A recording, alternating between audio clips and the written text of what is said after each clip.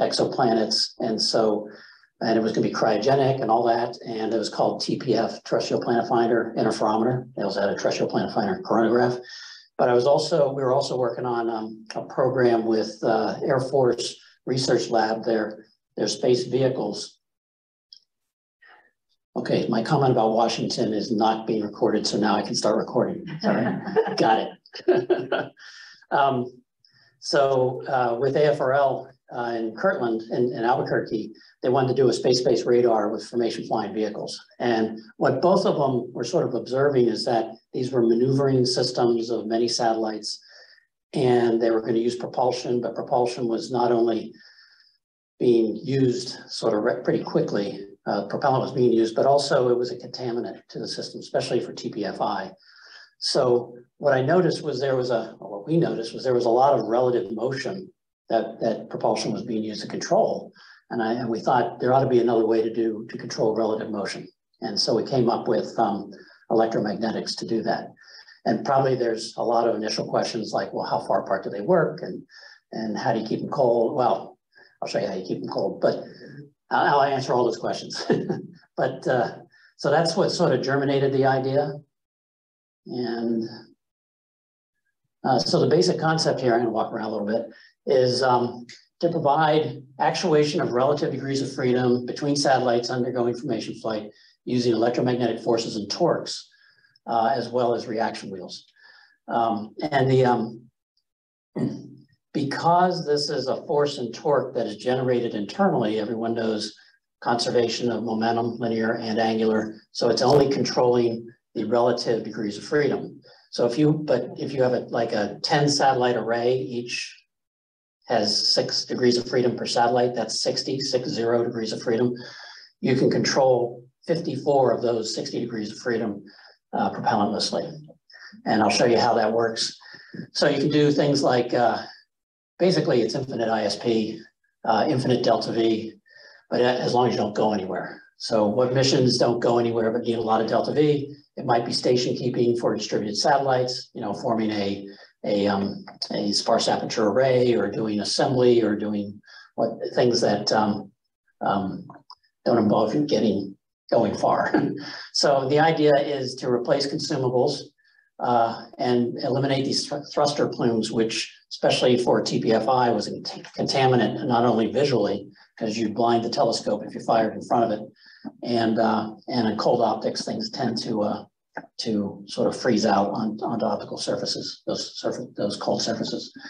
And um, the uh, the nice thing about using reaction wheels and electromagnetics is they're both powered by electricity, which is a renewable source on you know through solar arrays.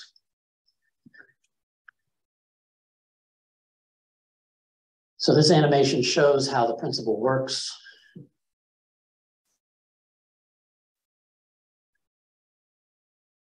So you start out, if we're gonna do formation flight here, we'll start with two satellites, um, perhaps launch them together, unfold the solar arrays, unfold the rings. It's actually fully, fully controllable with three orthogonal reaction wheels and one coil. But in this case, we have three coils, and that allows you to decouple the rotation of the satellite from the rotation of the, of the movement of the dipole.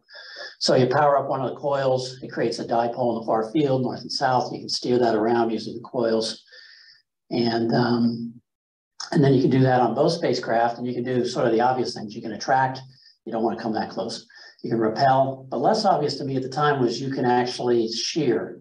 And what it does is when you shear, you create these shearing forces, but you also create torques because you're putting angular momentum sort of in the clockwise direction, but through that motion. And so the vehicles had to rotate in the anti counterclockwise direction to uh, absorb that. But instead, you can absorb that in the in the reaction wheels, and that's the decoupling effect. So what can you do with this? So I put them up here, my favorite telescope, and if you show this to the people at Goddard and JPL that worked on, and others that worked on, on James Webb, you know, they sort of cringe when they see the slide, but I say, this, this isn't something you should necessarily should do, but it's something you could do. There's a bunch of things you could do. You could, right there where it says I'm talking, right behind it, there's a, uh, there's a uh, secondary mirror for like a James Webb type telescope, which now you're electromagnetically trapping out in front of the primary. And that eliminates the secondary tower, its deployment, its optical obscuration, all those kind of effects. Actually, with, with, um, you can trap the different segments together in the mirror to, to make the, to make the hexagonal pattern. You can actually mechanically sever the telescope, secondary and the, and the primary, from the spacecraft, which the spacecraft's on the bottom there, and then it, the sun shield. Because what you can do is impart the forces and torques between the reaction wheels on the spacecraft to the telescope through electromagnetic um, effects. And so now, instead of taking the vibrations of the reaction wheels do their spinning imbalances and having that ripple through to the telescope and the wavefront error line of sight jitter, you now can you can only transfer the forces and torques you actually want to go into the telescope. And that gives you a very nice isolator. You could also uh, magnetically deploy and separate the sun shield. It's a multi-layer sun shield and they're not parallel surfaces because you got to let the photons go out the edges. Um, and um, but then you'd say, well, how do I get power? You know, the solar arrays on the bottom of the spacecraft there, and how do I power the instruments on the spacecraft on, on in the uh, telescope? And the way you do that is through inductive coupling. We do that every day with our, well, I guess if you have a modern enough phone, it's that little disc you put on it. And I'm going to show you some work we did in inductive coupling between these vehicles. So a good question is when you transfer electrical power from one vehicle to another, does that transfer mechanical momentum? I'll leave that as an exercise for the student because I don't know the answer. I think it does. I'm not sure which way. Um, so this is the first question I usually get. A lot of, can I move that little? Does that help? Actually, if you go up to the three little dots in the top bar, and you can both hide the video bar and the caps bar. So click that one and that gets rid of that, and then click one more down below that, right there. There you go. And then so I only know that because I accidentally did it. Should. I click this X? Yeah. That's fine. All right, much better. So the, the question I get the most is, um, how far apart do they work? And what we did here, and I think I forget to men, forgot to mention is we, um, Alvar and I were leading a, uh, capstone class where we take, have juniors and seniors and they build something.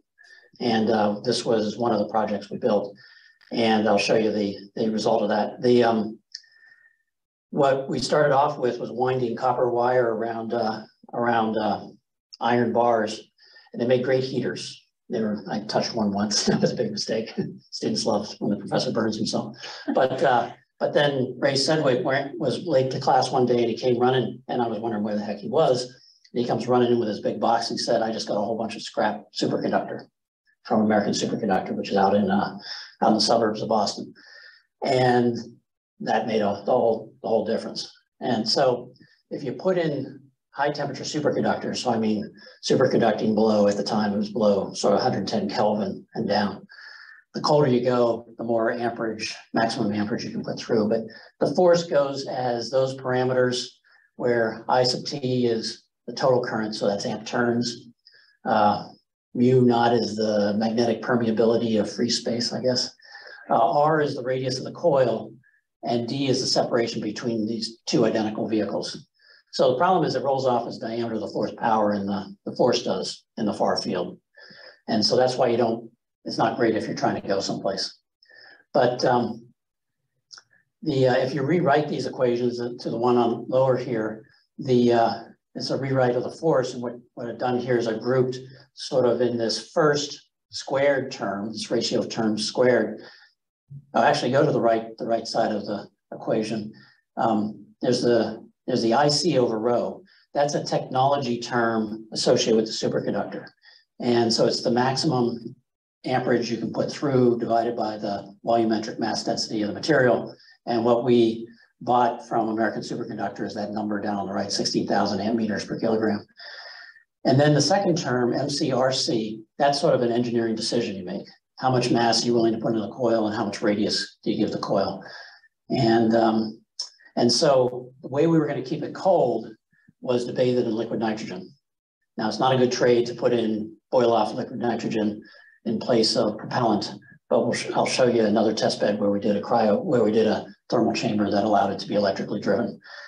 And uh, liquid nitrogen is around 77 Kelvin. And so that's the uh, that's the parameter we get at 16,000 for the um, capability of the technology. And this is sort of 2003 technology.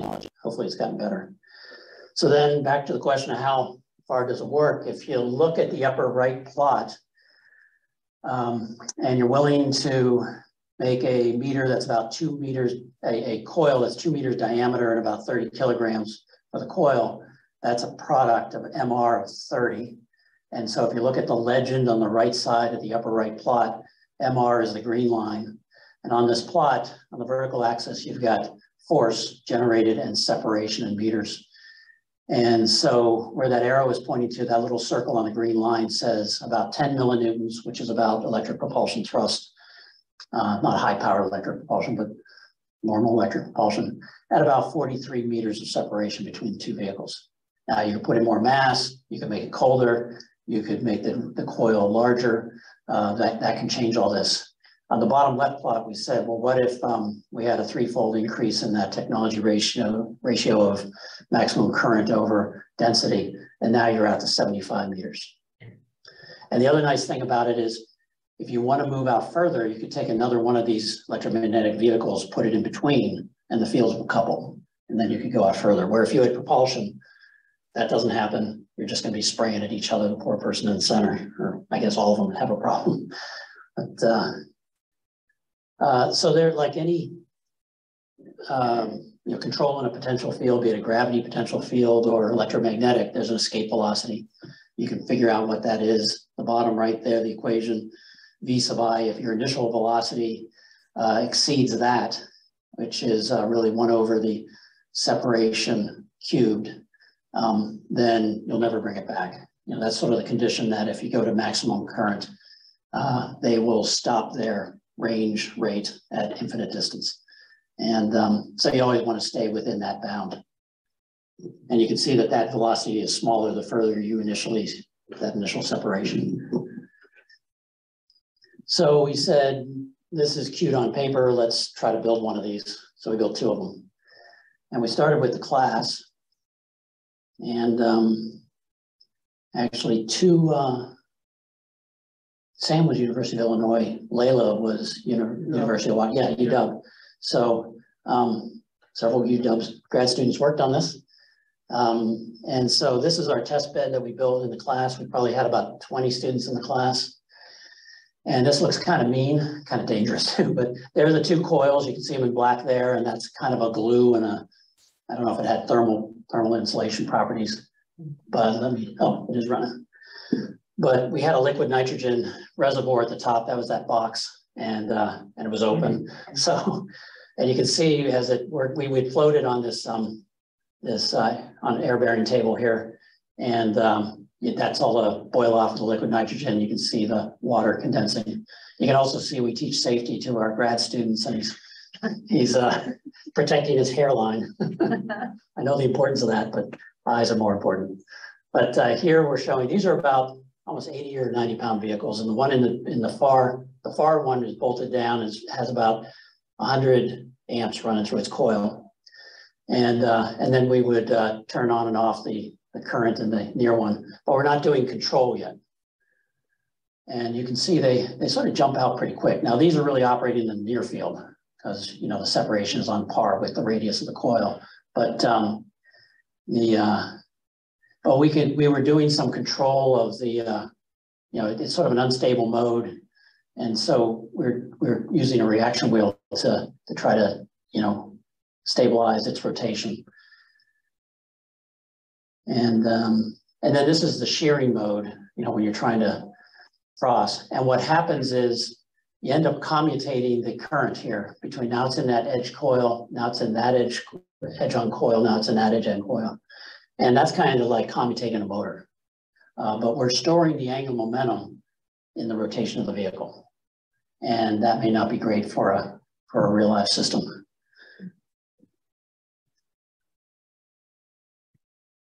So uh, the class ended. Uh, the grad students who were my TAs, that's sort of a model that we developed to bring the grad students in. We would be sort of um, creating test beds for use in our graduate research.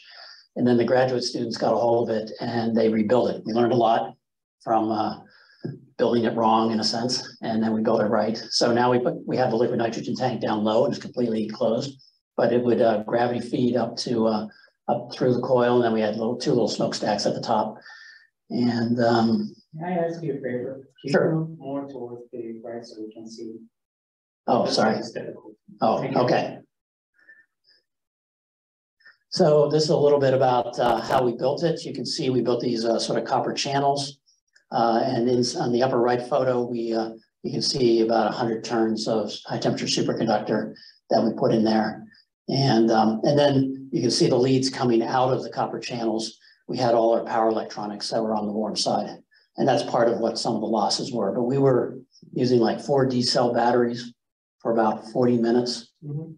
uh, at pumping hundred or hundred amps, Yeah. which, uh, sort of amazed me. It's funny, when we first put it on a power amplifier, the breaker kept popping because the power amplifier is detecting a short. So duct tape helps there too. Now, we, we had someone that, that, uh, we, we had a, another staff member really good at power electronics came in and, and set us up properly. But, um, and then that copper channel is what would hold the liquid nitrogen. So we built a, uh, power amp system for this, a power, uh, a, um, amplifier system for this, using a, using an H bridge. This was out on the warm side. And, um, and what we do is, once you get the right amount of, of current going through it, we then flip some switches, those little yellow switches, and we let it freewheel. And then we had little, um, current detectors, and if it deviated by maybe ten percent of the current that we were commanding, then it would, it would close the circuit again and goose it. And whenever we wanted to take the current out of that coil, we pumped it back into the batteries.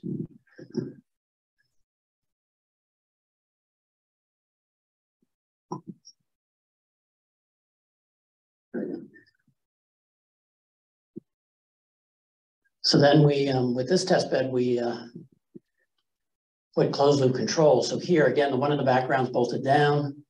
Uh, the one in the foreground is, uh, floating and is trying to hold its position where that little black tape is. So he nudges it forward and, uh, it puts current into that face-on coil, comes back, and then it has to reverse the current now to stop its, its separation rate. I tell my students, always have the camera running, because you don't know when, what takes are actually gonna work well and what's gonna be your last take. So editing room floor is very helpful. So here's the shear mode, and now we, um, we're using the reaction wheels much more effectively. And it shouldn't have had this sort of wobble like that, but you know, that's, that's a tweaking of gains on the control loop. But it comes back. They're very happy. That's like tape number fifty or something. And uh, these are very powerful uh, torque controllers. The uh, that's not the reaction wheel doing it. You know, that's that's the electromagnetics. They're they're on par with reaction wheels in terms of the torque they can generate. And that's the separation. He did not exceed escape velocity. That's a good thing, or at least on this try. And it comes back. So we started to look at different kind of uh, mission analyses, you know, retrofits on missions and how this would help. So this, this is uh, TPFI, T- Terrestrial Planet Finder Interferometer, and I saw some people nodding their heads that sort of remember those days.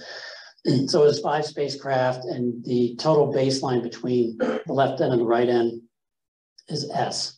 And so that S over three, S over six is the relative spacing that's sort of dictated by a Bracewell interferometer, and I won't go into that. But um, we looked at, if you look at the bottom left plot, that's mission lifetime in years. And um, on the vertical axis is the total mass of the system. And so the bottom black line is the dry mass.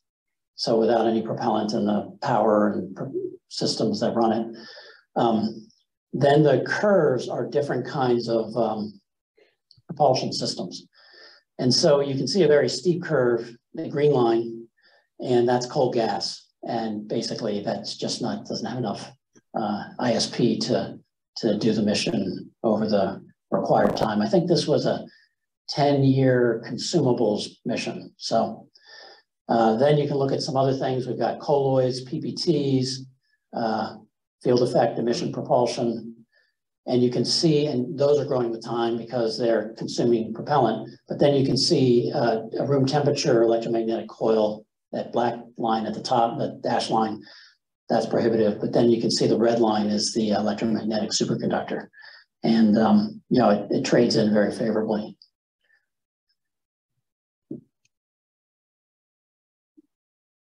We also looked at trying to make some um, sort of non-Keplerian configuration. So this is one where we want to hold the, uh, the vehicles separate in the cross-track direction. So it makes these, it causes these vehicles not to be orbiting the center of the Earth. And so they're constantly doing a plane change on this. And the way we, so with propellant, that would be pretty prohibitive. But the electromagnetics, you can do it.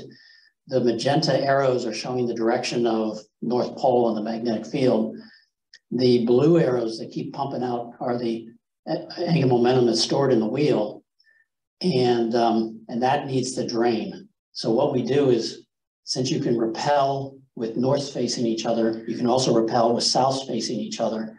Um, that's the way to, to keep this uh, from exceeding its capacity of angular momentum. And so there are different configurations you can make that are interesting. I'm going to skip that one. So I, I asked my grad students, so we, we, we built test beds with two vehicles. We, we uh, show examples with two vehicles. I want to see more than two vehicles. I want to see three. So one of my grad students came back with 10. And this is an interesting one. It's, um, so this is flat, flat space, no gravitational potential well. It's uh, 10 vehicles. They're starting at the red X's and have to have to find have to go to the green. Now starting at the green X's have to go to the red X's. And it's not a minimum fuel problem because there's no fuel. It's a minimum time problem. But in a flat space, you think minimum time is a straight line. But in this case, it's not because they have to, it's like billiards. They've got to bounce off, magnetically bounce off the other vehicles to get there. And so we looked at different ways to optimize this profile. It's a non-unique solution. So we put in another parameter. These vertical arrows show the amount of angular momentum that's stored in the vehicle. So what we did was we penalized the worst case angular momentum being stored in any, any vehicle to, because you're probably gonna have to size your reaction wheels or whatever that worst case is. And so by minimizing that, you can use smaller, lighter reaction wheels. The other thing you should know, and probably know that, is you can see the, uh, the frame axes at the in the center there, the center mass never departs that point because it can't, because it's conservation of linear and angular momentum. The other thing is here, this was an all up optimization, but you could think of doing this in different ways. It's kind of like communication systems. You could do CDM, CDMA, FDMA, there are other kinds of, so you could do something like. Doing some catching on the news. You could do a, um, you know, a frequency division modulation, for example. You could operate some of them, you could take the, um, the, the current and oscillate it at one frequency, and the ones that it wants to interact are at the same frequency, but others are at a different frequency, so they will orthogonalize over time. You could also do time division, turn some off, move a subset of the array, turn some others off, move them. Uh, there is kind of a, a local strength or an influence function that the ones that are near each other are going to have a lot more effect on each other than the ones far away. And they're, I don't know what code division would do, but I guess it's some orthogonal code like a, like what GPS does that, but, um, so there's some other interesting things that we never really looked into about how to, uh, how to do that. So thermal control, you know, uh, a, cry, a boil off cryogen is not a good replacement for a, um, for propellant. So what we built is a um, toroidal vacuum chamber. And you can see the edges, it's sort of got those gray edges. And, and there's another half of that, sort of like a bagel that's been sliced that goes over top of that. So then we can evacuate it. The copper pipe is what contains superconductor. And, um, and this chamber is about um, two or three meters, two meters across, I think. So just a little bit about it, instead of putting, what it's a, what we did was we created a, um, a cryogenic heat pipe. So a passive one without any, any pumping, or it's natural pumping. So instead of, so what you do is you place a cold finger like a cryo cooler at one point. We just used a little liquid nitrogen reservoir. You can see it there. And then we used in the upper right figure, there's screening inside. You want two different size meshes on the screening. And what happens is you put nitrogen into this big copper pipe, and then you, um, at the cold finger, it will, it will liquefy. It'll then stick to the, the, uh, to the screen, to the mesh, and then it'll capillarily wick through the system until it picks up enough heat that it then goes gaseous, it comes back. And so this just shows it working. Um, so in that bottom right plot, the vertical axis is temperature in Kelvin and the horizontal axis is minutes. And what you see is the, the dark horizontal black line. That's the critical temperature. That's the 110 degrees Kelvin at which it'll, below which it'll start um, superconducting. And, um, and you can see that the time history here, all the points go down to it's about 83 Kelvin or something like that, 85 Kelvin, which is more than enough. We, we actually put an internal source in there and he, heated it up there at the 140 minute point, but um, there really is no internal source of heat. So it, I don't know why we did that, but uh, you know, you can keep this cool electrically. And actually what we found out is you want to do this as a um, sort of a nested layered heat pipe because cryo coolers are more efficient at removing thermal watts, the higher the temperature those watts are. So if you can remove most, if because all the sources of heat are on the outside.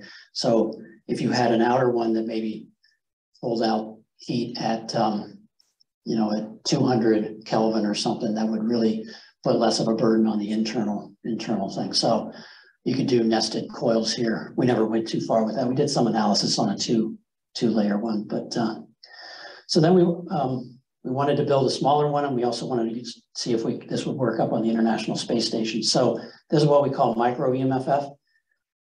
It's non-cryogenic because we knew when we get to space station, we shouldn't have liquid nitrogen floating around in a zero gravity environment. That would get you above the fold on the, in any magazine, I guess.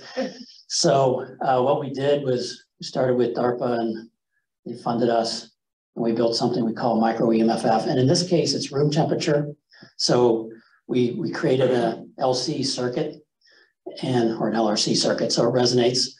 And the, the coil is the inductor. And we had, uh, I think, supercapacitors of some type in that coil. And uh, I think it was 90 hertz. Here it's on a, on an air bearing swing arm. And the vehicles in the center are the ones that we had, that we had on space station that Professor Saenz-Otero built. Um, in his class today, we're going to show one of those.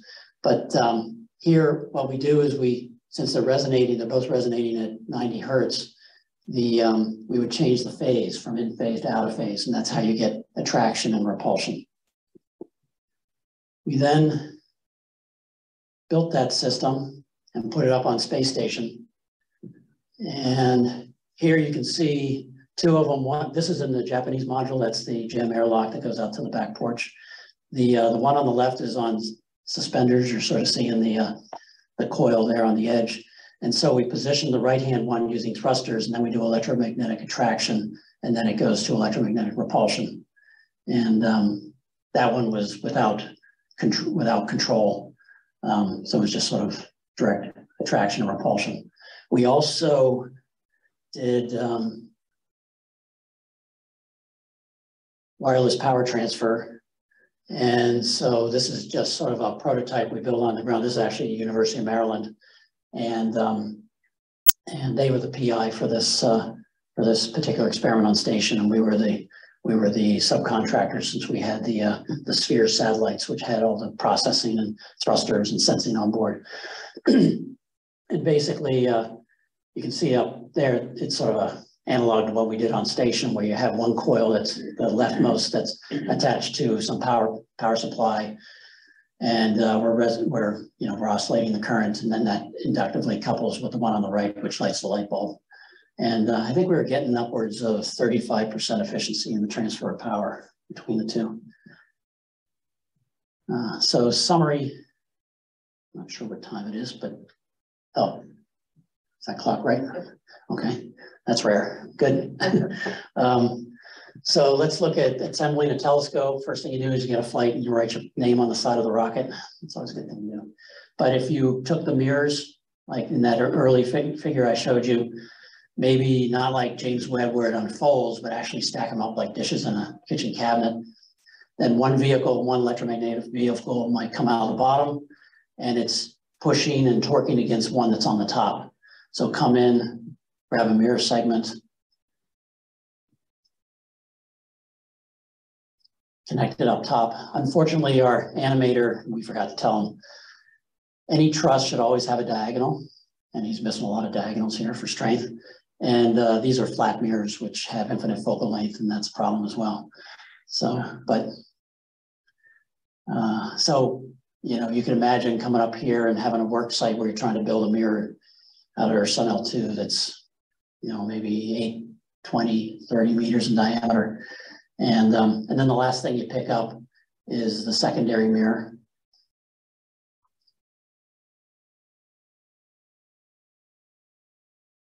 And you jettison that and hope it doesn't come back. And uh, then you put the secondary mirror in place. Tuck those solar arrays out of the way, but still in a way that you can generate power and, and then um, you got that telescope I showed you on the, on the second slide.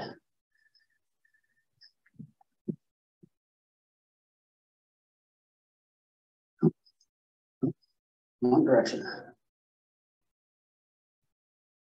So we got close to doing this. Um, we're trying to assemble, robotically assemble a telescope inside the uh, International Space Station. And we had the mobility vehicles, which are the, in this case, blue. Those are our spheres that were already up there.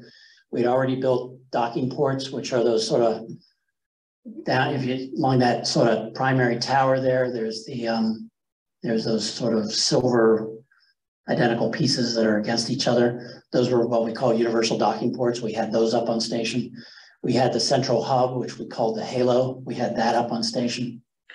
And uh, we didn't have the mirrors yet, but, uh, and someone could say, well, you know, what good is a telescope when it's inside a, a metal can?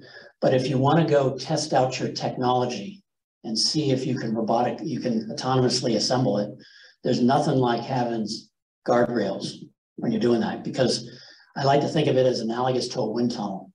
Wind tunnels are where you take a formative technology, you test it under nominal conditions as well as off nominal conditions because you want to see where the technology breaks because that informs where you make future investments without harm to the, oh, you're testing in an authentic environment when tunnels wind. Here it's a microgravity, long duration microgravity. And you do it in a way that there's no harm to the test bed, the operator, or the facility. And so if you want to really develop autonomous spacecraft assembly, you know, it's a great place to do it. There's just not much to look at. So um, that's all I got. Happy to answer any questions. Uh, we have a.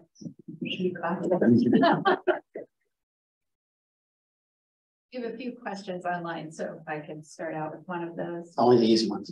Yeah. Alvar, take the uh, tough ones. Um, Brian Hanley asks, could this be used in the Van Allen belts to create thrust against the charged particles?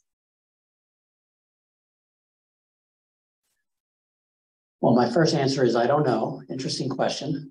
Uh, I am a former professor. Well, I'm not, I still have grad students. I'm a professor post tenure. I don't know if you have that here. Well, we have like affiliate faculty, maybe that's kind of. Oh, I, I still have my, cha- I still have my chair, still have my title. I still have grad students. I can So you're still a faculty member. yeah, but I'm, I don't have tenure. So I'm responsible for Oh, oh, generating yeah, my own salary. we Yeah. have the, you we have a title for that. So whenever, whenever anyone starts answering a question that wasn't asked, that means they don't know the answer to the original question. Um, I don't know. Uh, there's, yeah, charged particles, Lorentz force, something like that. There's a cross product in there someplace. That's an interesting thought. It, the thing is, you can't really use this to, to push against Earth's magnetic field because force is really the amount of force you get is the strength of the dipole, function of strength of the dipole, and the curvature of the field lines through the second vehicle. And Earth's magnetic field is pretty strong, strong dipole, but the lines are, are straight, are parallel through something that's small. That's why you really need long tethers for that. But again, I'm answering a question that wasn't asked, so great question. Uh, can it do detect and decollision, and if it does decollision, how long ahead of time do you need to know before you change its cycle? So a collision with another electromagnetic vehicle might be one collision you're talking about? That or particles in space? Oh, like debris coming in or, yeah, um. Another good question. Uh, you know, I always think in terms of time constants. So if it's a cryogenic system, it doesn't like to change, it, you know, it doesn't want to change its current very fast. So there's some kind of latency, some kind of amount of time you need to have knowledge that you're going to have a collision before it can sort of respond to it. Um, the only way it can move is if it moves against a partner vehicle, you know, another one that's an electromagnetic vehicle. And, um, uh, you know, they could sort of shove each other out of the way if some part particle was coming through. Um, you want to make sure that when you do that, you don't, you remember to pull back together. Otherwise, you'll exceed that escape velocity term. Um, there are some, there are some interesting things about um, high energy particles cutting holes through the superconductor. So now the amount of superconductor path goes, gets smaller. And I guess there's a, there's an effect that we never saw, but people kept warning me about it is if it trips out of superconducting mode. Um, there's sort of a lot of energy that can suddenly be released.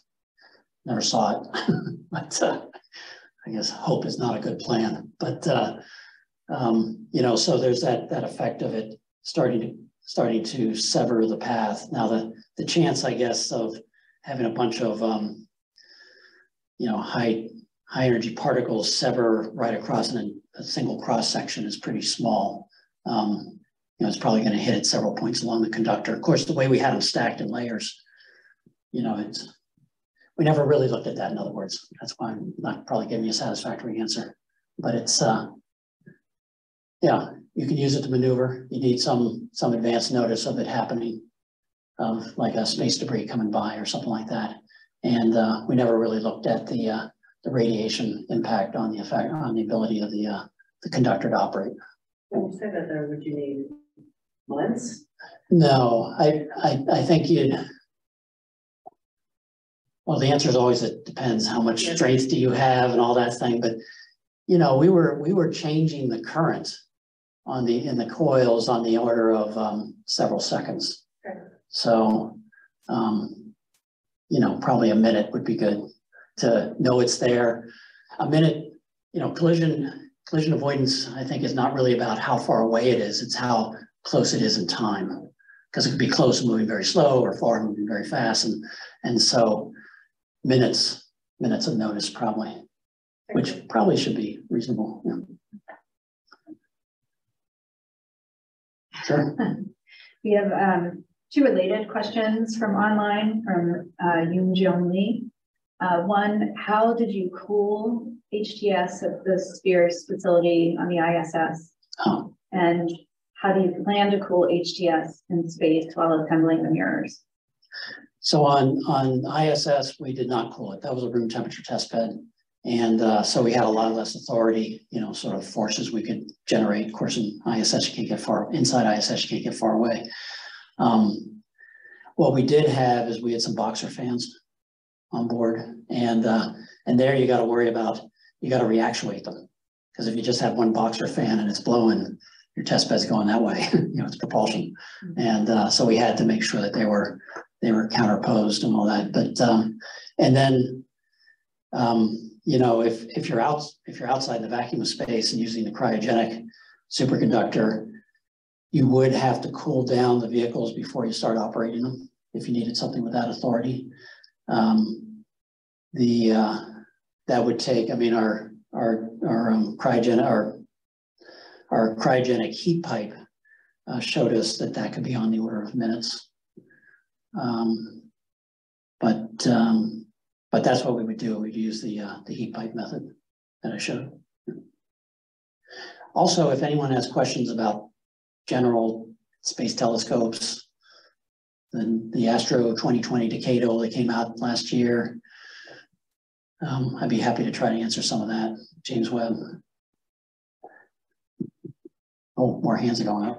I think yours popped up first. If you have an array of, let's say, ten satellites and you have your 60 60 degrees of freedom, you mentioned four of them need propellant, three being, I'm assuming, the center of mass of the system. What's the fourth one? Uh, oh, no, you said, um, y- six. There's six degrees of freedom you cannot control, and it's the three translations of the center of mass and the three rotations about the center of mass. Sorry, I might have No, misspoke there.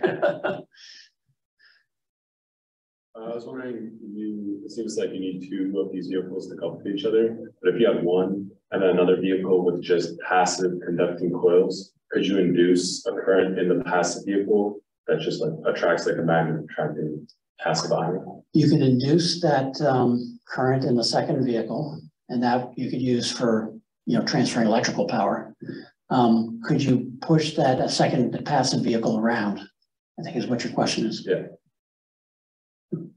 I don't know. It's a good thing to think about. One, one, but I'll tell you something we did think about. I learned this when I was in Washington. You answer, the it's called the pivot. You answer the question you, you want to answer, not the one that you've been asked.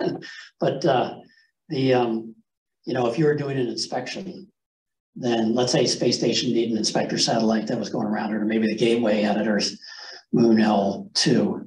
Um, you know, that, that inspector doesn't necessarily need its own power source. It does, may not even need its, it doesn't need propellant. It could be because you can, you can wirelessly transfer power to it. It can use that to energize its coil. And you can maneuver, and then the coil that's sort of wrapped around space station could then, that's a fictitious coil. There isn't one that's wrapped around space station right now, but you could move that. It really sort of lightweights the other vehicle and that inspector satellite. And actually, I'll show you back to the slide I skipped. Um, you can, this was sort of an inspector scenario where what I was trying to do was get vehicle A and vehicle B. Vehicle B, sort of the mothership, vehicle A is, is the inspector. And I want to get that angular rate omega to maximize given a fixed mass. And what you find is you get the maximum angular rate when you give the two vehicles non-equal mass. And there's an actually a mass ratio that's uh, not one that uh, gives you the fastest sort of motion at a given radius or given diameter, I guess. But uh, so there's some interesting ways to design um, like inspector satellites that way. And maybe this idea of pushing against uh, a passive object might work as well. We didn't look at that. I'm uh, surprised that your uh, uh, loop heat pipe, no, uh, your heat pipes, uh, uh, steady state, uh, vision steady state takes minutes. It should be more efficient than that. Okay. Uh, I'm wondering if you have some kind of outgassing going on in your, inside your pipe or some, maybe you didn't pull adequate vacuum on it before you introduced the working fluid. Yeah, it's um, the circumference of the pipe was about six meters. So, and it probably also depends on the flow we had from the liquid nitrogen loop on it. It's probably a couple parameters on there that, Okay. but uh, And there's another Okay. technology called loop heat pipes and they're more, even more oh, okay. than, um, pipes. Yeah, well, that's good. Thanks. Appreciate that. Um, all, our motivation for doing that work was basically, they said, I, I was getting the question, do you really think that a boil off cryogen is better than, than uh, electric propulsion? So I finally had to try to answer that question and so we did that. But, you know, if your objective is to, um, improve your, you know, response time. Yeah. of this one, Yeah. And also that ended up in our, in our analysis, that ended up being a somewhat heavier piece of it. And so that's gonna help a lot with better technology there. Yeah, And loop heat pipes are also lighter than P pipes. Good. Thanks.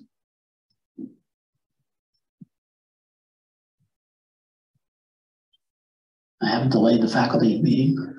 That's a good thing. Not yet. Thank you, David. That great, great uh, overview. So quick question for imaging applications, has, what is the bottleneck of using this for, you know, I, I remember like arc minutes, attitude control or centimeter or where are we in terms of being able to use this for? Yeah, um, so the way I think about um, precision control is along three dimensions. One is sort of the, the um, dynamic range of the system. Sort of how, what's the ratio of the largest stroke of the actuator and the finest sort of impulse bit, if you want to think of it that way. Another one, another dimension, and, and the thing is, you know, we're, we're probably not going to be able to do uh, 50 nanometers kind of control with that, but but with all telescopes, it's a staged actuation system. You know, you've got uh, interferometers, you've got multi-stage delay lines, you've got fat, you've got fast steering mirrors, you've got um, you know, you've got segment actuators behind James Webb, you've got uh, deformable mirrors and things like that. So I think think like of for PPTs where like at the spacecraft level, it was a centimeter maybe, right? Yeah, I mean, okay. some. And then, and then the other dimension, so there's, there's the bandwidth of the dis- disturbance relative to the bandwidth of your actuation. So that ratio, so it's dynamic range, bandwidth ratio. And so if you have high frequency disturbances, you know, this L, this LRC, Mhm. or I guess with the electro, with the um, high temperature superconductor is more just an LC circuit. Um, it's, uh, you know, it's, it's, it's too low pass for, uh, for high frequency stuff. So you need other actuators to do that. The third dimension is, um, is sensor, is sensor resolution. And so you can't control what you can't measure. So, but you know, laser metrology is something you could use. And the nice thing about that is it, it has high dynamic range. Mhm. You don't need to have a whole bunch of stages of it. So it's, um, this would have to be one part of a multi-stage system, actuation system. Yeah, like that secondary mirror, it's out there. You know, you gotta, you have to, it's gotta be some kind of adaptive mirror. Thank you. Um, let's see. The one is, uh, EMFF viable or attractive in space, considering all the extra weight and volume, including cooling? Um, I think so. It depends, is the answer again. Uh, there's a, there's an interesting chart that, that, uh, creating non-Keplerian orbits, you know, if you move them in a cross-track direction as a function of alti, of orbital altitude, there are regions where EMFF is better than propellant and regions where it's not. I don't have that chart, but, um, you know, I think, uh, you know, things like, like this slide, you know, for TPF, it had a two-hour rotation rate, it had a seventy-five meter baseline. Um, our red EMFF superconducting line there is, is as holistic as budget keeping as, as we could make it at the time. And it still was pretty feasible for that kind of mission. Um, but it's, it's one of these things, you know, it's, I've heard the rule that the, um, the ISP of the propulsion system should be on par. Well, the exit velocity of the propulsion system should be on par with the delta V you're gonna ask from it. I've never found that optimization, but it's, um, I've heard that as a rule of thumb. So if you're, if you're gonna use a very high ISP system like Phoebs, uh, you shouldn't use it for a low delta V mission because the weight of the power system that you have to use to drive it, you, you're lugging that around. And so, you know, you'd probably want it for high delta, very well, if it's infinite ISP, you want it for very high delta V missions. Um, I have one more very specific question. Okay.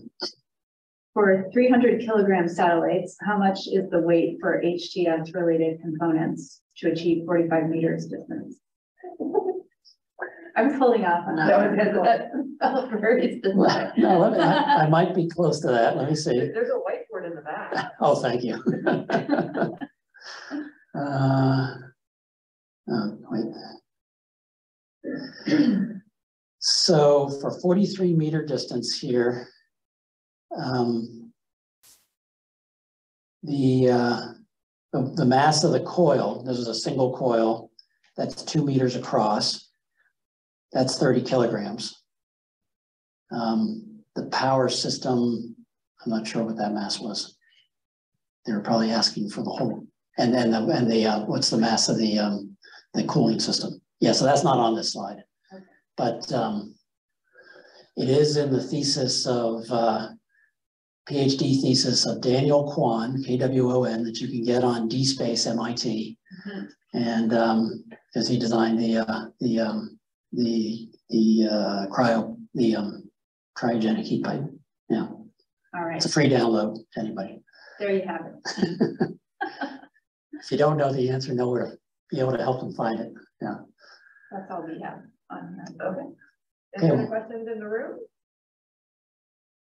Thanks for your time and uh, I really appreciate it. Thanks for having me and thanks to uh, Professor Saenz-Otero for making this all possible. He's all these different, we've, we ran like, I mean, we, you ran all the space station experiments for me and we had like six or seven up there.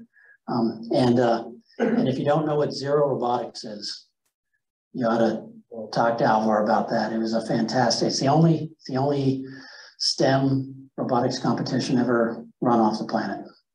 And there's a nice movie about it too. So he's the creator of it. So We're very happy to have him. great, thanks. All right. Thank you all.